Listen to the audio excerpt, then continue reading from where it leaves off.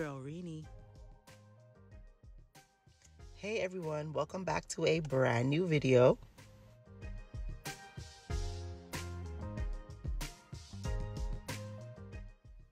So in this video, you're going to see me do a setup using two backdrops. I'm using this gold frame and I'm also going to be using a plain white Chiara backdrop.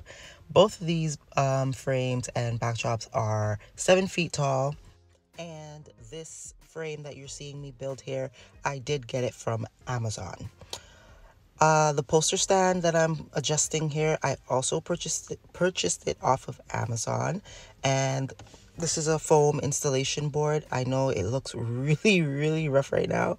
I still have some old wallpaper on it, but not to worry. I'm going to throw a backdrop cover over it. Just trust the process, all right? Okay. So you're going to see me apply some clear tape to the back of this. Um, do not use clear tape, okay? It is not strong enough. I highly recommend using a stronger tape such as high quality duct tape. That's what I normally use. But I ran out. So we're just going to have to work with what I got. Um, you're going to see me add like two strips. I took off two strips of old um, duct tape from the front and I applied it to, oh, you know, you're not to see it. I lied. Okay. So you're, I did apply two old pieces of duct tape though. That was like really, really good. St still sticking. Okay. I'm using a backdrop cover. This backdrop cover you would normally use over like um, like that frame, the gold frame that I have in the back. But honey, you can throw that over anything. You can throw it over your wood backdrop. You can throw it over your, as you can see, I'm doing my foam, whatever you want to use it for, okay? no limits. All right, so I'm going to be using three wonderful colors in this setup. So what you see me doing here is just placing some bases that I made just kind of placing them, figuring out how I want to start this off.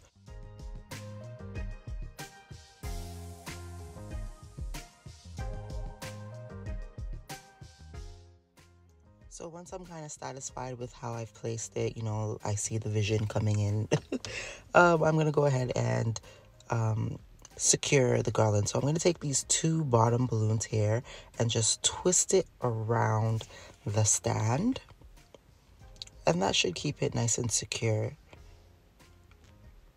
I'm to add this blue, the dark blue here. As you can see that big gap between that mint green, well it's pastel matte green and pastel matte blue. Just so it, it can close, I just added another cluster of dark blue. And I'm to do the same exact thing that I did at the bottom. Take two balloons and just twist it around the pole. And once again, like that should be very secure. If you're not feeling certain, go ahead, grab a 260 and tie it down. Here I'm using a spring clamp. This is what I'm going to use to attach the garland to the Chiara. A spring clamp with a 260Q. You saw that it's kind of looped. I tied it and looped it. And I'm to use that loop to secure it by wrapping it around two balloons. I find when you wrap it around two balloons, it hugs the board a little more snug. See here, I'm kind of showing you that I'm using two balloons instead of one. It just hugs it a little more snug. It's not hanging like all loose.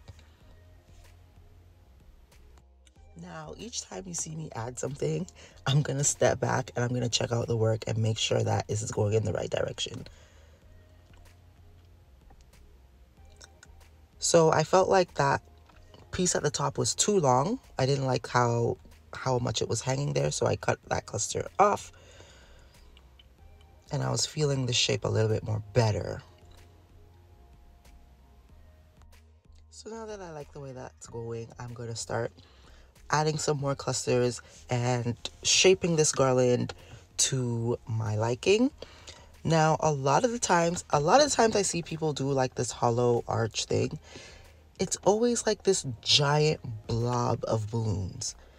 Like this, there's no shape. It's just a big giant blob of balloons. And I wanted to stay away from that. I wanted this to look a little bit more shaped, like I shaped it with purpose type of thing. I didn't want it to just be a big round blob of balloons. I wanted it to look a little more, I don't know, artistic, I guess. So I'm adding some clusters And I'm trying to do it in a way where I don't get that blob once again. Colors. I did not mention the colors yet. So three colors that I'm using, all from three different brands. The dark blue is standard dark blue from Kalisan. That light blue is pastel matte blue from Sempertex. And the green is pastel matte green from Decomex. And I'm using, as usual, 18 inch, 12 inch, or 11, and 5 inches. So right here you see that I've decided to add a little um, a little cluster of balloons or two rather a cluster of balloons on the side here. So that's what you see me doing, adding it once again with the spring clamp and the 260Q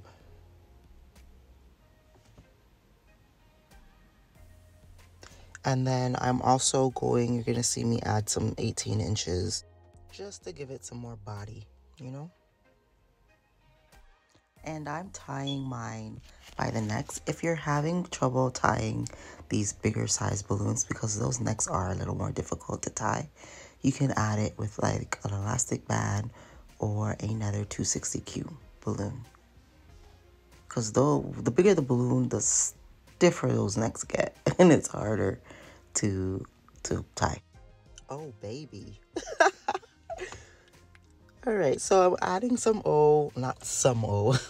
I'm adding an O baby sign. I purchased this off of Amazon as well. Now this sign came with these little stickies.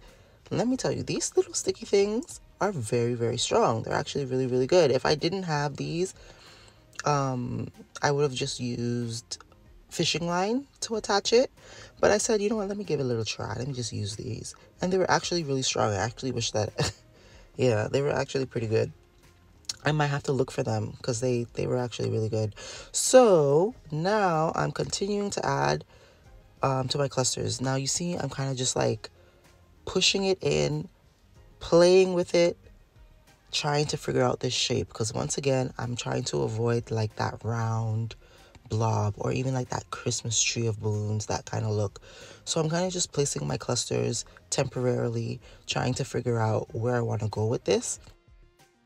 And then when I'm satisfied with the placement, I'll go ahead and tie tie the necks of the balloons, tie it in or wrap it around or secure it down.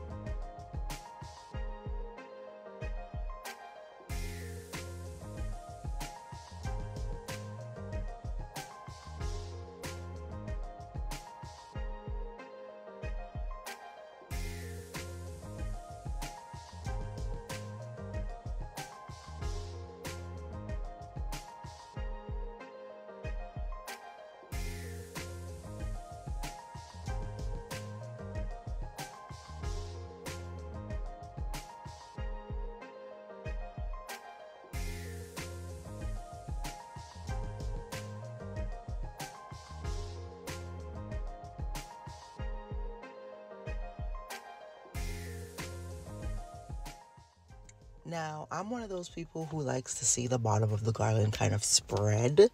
So you're going to see me add a cluster here just to widen the bottom and kind of spread it out nicely. Um, some people call it a skirt. I definitely like the bottom of the garland to be heavy, heavier than the top.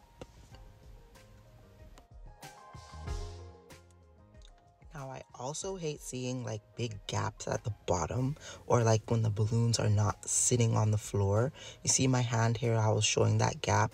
So I'm trying to add clusters to fill in those gaps at the bottom so the balloons look like they're all sitting on the ground rather than it kind of floating on top of the ground. If you're having trouble with this, um, or you don't have enough balloons, say you don't have enough balloons to fill the bottom, you can also use some form of weight to hold down the balloon so it sits on the floor instead of floating up. So something to help weigh it down. Like I've seen people tie like a water bottle. You can make a water weight also with a balloon. So that's you fill it. You fill up a balloon with water and then you tie it down to the bottom just to give it a weight so it's sitting on the ground. So that's another option as well. Those types of techniques are also good for like outdoor setups just to make sure like if it's windy, it's not blowing away. Your balloon garland's not lifting up. Yeah, so that's a nice little technique that you can use. so you've just seen me add the other half of the sign to the backdrop and now I am pretty much satisfied. I'm pretty much done with the whole shaping of the garland. Now I'm going to go ahead and add some detail with these five inch fillers. All right, now you've seen this technique probably a thousand times. I make my fillers using five inch. I make them into quads and I use an elastic band to attach it. Throw those suckers on my arm and I just run through the garland really quickly, placing them wherever I see fit filling it in, making it look nice, making it pop, you know?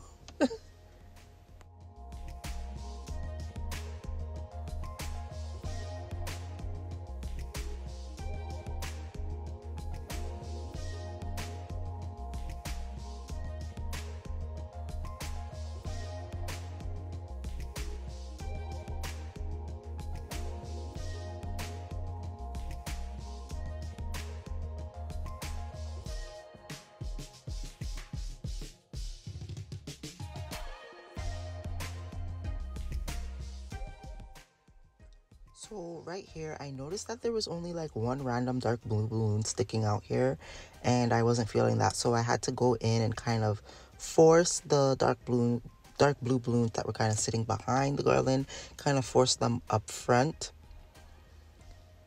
just so it shows because it looked weird with that one balloon showing.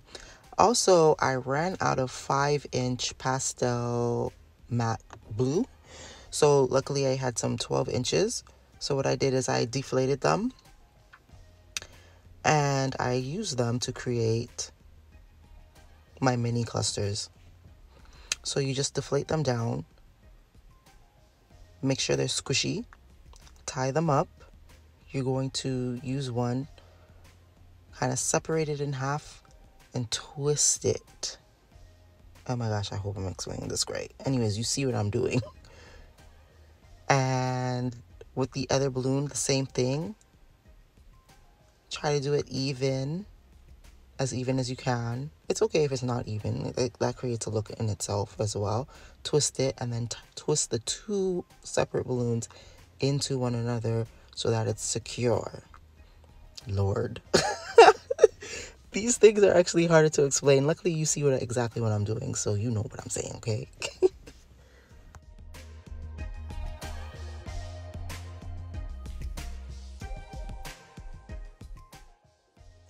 So I'm adding more balloons to the bottom. Like I said, I need that bottom of my garland to look a little more full, a little more heavy.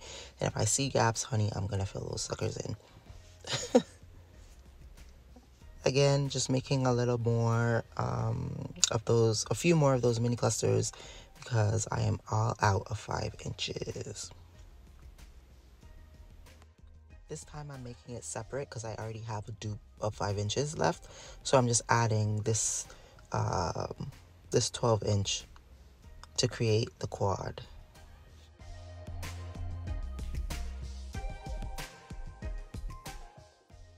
And that's pretty much it. Here it is. I love this setup. I think the colors are super cute.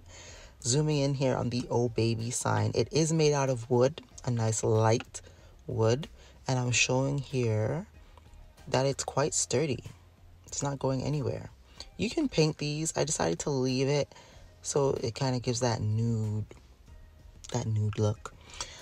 Beautiful. I love how the shape came out. I love that it's not just like a round blob. I love that there's little pieces sticking out. You know, beautiful. Let me know how you feel. Are you digging it? Are you feeling it? Do you like it? Do you not like it? Like, let me know in the comments how you feel about this setup. Did you learn anything? Is there something that I could have done better? I'm all ears. Well, all eyes because I got to read the comments. Anyways, thank you so much for watching another video. Um, I look forward to creating the next one for you guys. And once again, please don't forget to like, comment, and subscribe. All right, see you in the next one.